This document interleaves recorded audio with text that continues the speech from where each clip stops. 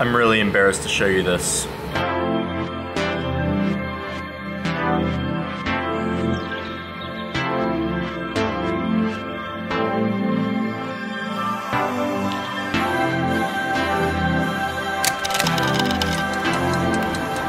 I'm going through old videos and thinking a lot about the early days of how I learned to make video. I thought I would go back and tell you the story of how I got into video and learned and eventually started making documentaries. It's more expensive to live in Hong Kong than anywhere in the world. I'm in Portland, Oregon today for 48 hours. For me, it all started with a video camera that my parents had. When I was in high school, I would take this video camera out and make the weirdest, most horrendous looking short films you could ever imagine. This stuff had no body, it had no use. It was ugly and storyless and just really weird. 8, 2007. But what it did is it started to hone a sense of me looking through a camera, pressing record, and then going and editing images together. And I did it a lot. I mean, when I was in high school, I would film everything. I, again, had no sense of purpose or story or anything, but at least I had my hands on a camera.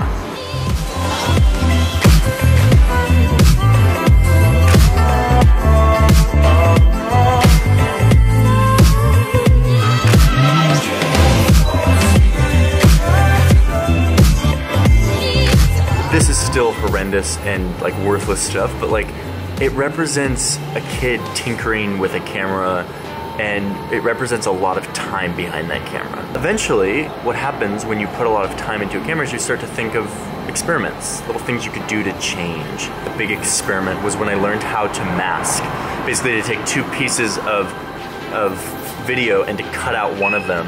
And I started doing these weird experiments where I would cut myself out and like this one with this water bottle that I'm throwing back and forth. I did this in like 2005 and it was like my first moment where I was like, oh, I can composite two pieces of video over each other. I went to college and brought my parents' video camera with me and continued to make stuff there as well. And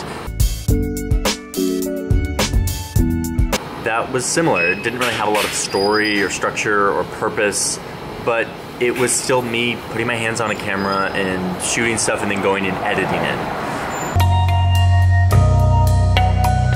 At college, I thought maybe I should be a film major, so I enrolled in uh, the Intro to Film class, which is the prerequisite for the film program. And in that class, I was a bit disillusioned by the fact that we were talking about theory and history and critique of film, but we weren't actually making anything.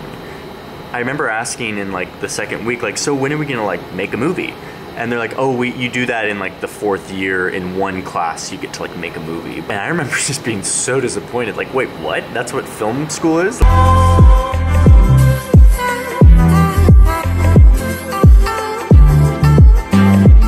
So after one semester of, of this intro to film class, I dropped out and I was like, no, I'm gonna find something else. I kind of had this idea that it I needed to grow up and say like, okay, my dreams of being a filmmaker are over and I'm just gonna switch to something more adult. And that's where international relations came in.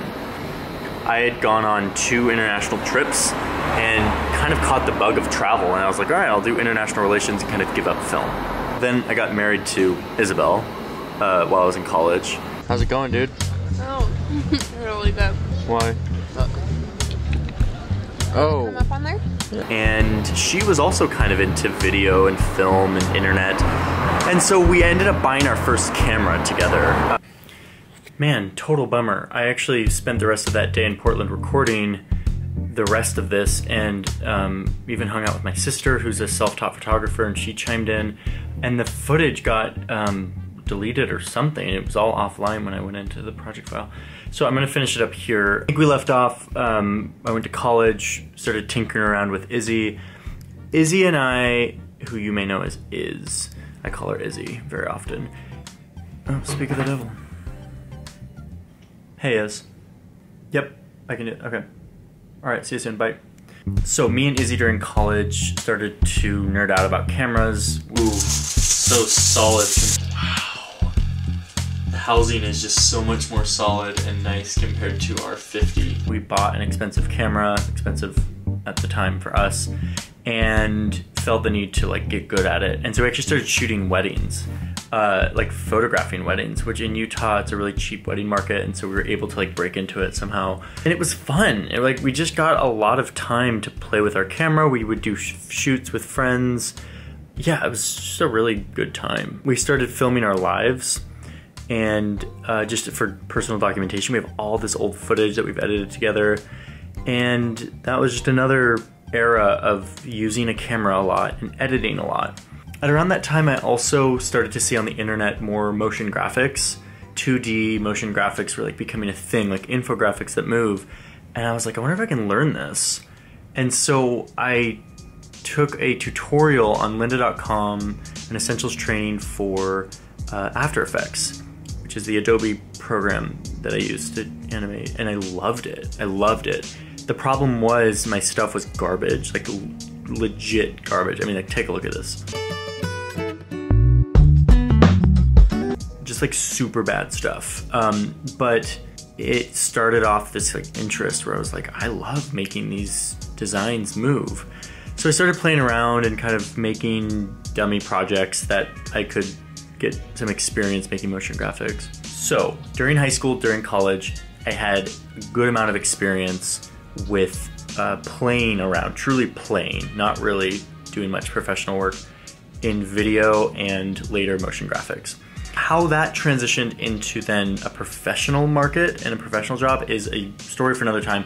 And I will tell that story in a video that I'm going to call How I Got My Job at Vox, which is another big question I get. For now, I want to focus on this, these early days, and give you my two big takeaways of why I think this is important to talk about and why I'm showing you all this old, like kind of ugly looking footage. Number one, you don't need a gatekeeper to validate you in this industry, meaning you don't need a film school or a certificate or anyone to say, yes, you know how to be a videographer, or no, you don't know how to be a videographer, or whatever it is you want to be in this space. The skills and the learning of those skills has been so democratized in recent years that if you want to, you can become a, a videographer and the tools exist, the, both the training and the, the tools. Like the camera I'm shooting on right now, it's a Sony RX100, it's literally a point and shoot and it's tiny, but I can make legitimate films on this if, if I wanted to, and it's a thousand bucks. So the more important lesson here, and the harder one to digest, is that these skills only come through putting in a lot of time behind this camera. There's no shortcut to that unless you're like some weird prodigy child, which those exist, but the rest of us, we have to put in the time. And that time doesn't always have to be serious and, you know, like professional work. For a lot of my life, I've been making not serious, not even good work, but it was time. It was time that I was putting behind the camera, and that counts for something. Especially if you approach that time, that large body of time and work, as a time to experiment and play with new things. So, find ways to force yourself to make stuff.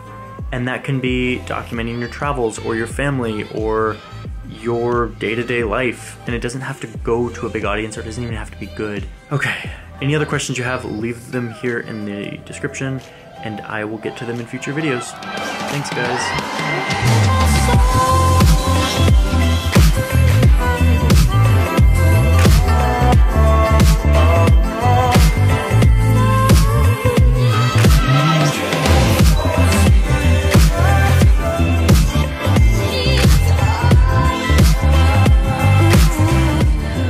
Thing I'll say before I sign off here is that I am going to start to send out an email to people with Iz every month that has four things.